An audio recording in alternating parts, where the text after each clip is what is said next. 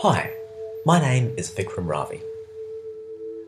I would like to tell you about some research that uses observations with the CSIRO Parkes Radio Telescope to challenge our understanding of how galaxies and black holes formed and evolved. Every galaxy contains a black hole at its centre. Some black holes weigh up to 10 billion times the mass of our Sun. When galaxies collide, their black holes sink to the centre of the remaining collection of stars and begin to orbit each other.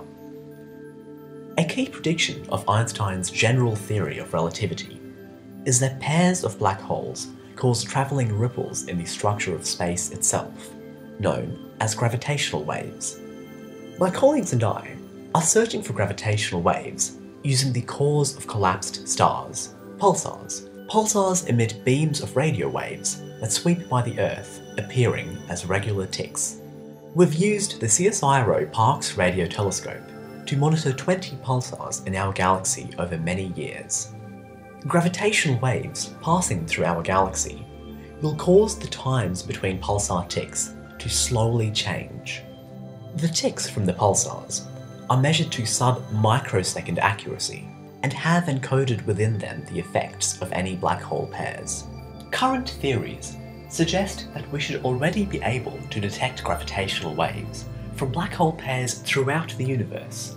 However, these theories are not consistent with our pulsar measurements.